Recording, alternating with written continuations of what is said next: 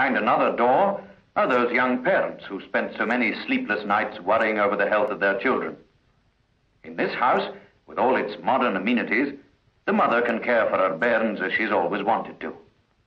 She's no longer haunted by the fear that they may have wandered away to some traffic-filled street, or that they're breathing germs of disease in a refuse-littered back court.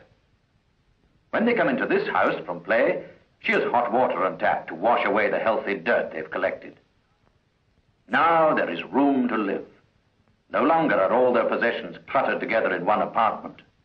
Later, the children will go to bed in their own rooms. By day, from her Moss Heights balcony, the mother can see and hear her children at play. These platted houses are solving another part of the vast problem of Glasgow's underhoused thousands. But as the city grows and expansion reaches its limits, other and more drastic measures are necessary to prevent Glasgow bursting at the seams.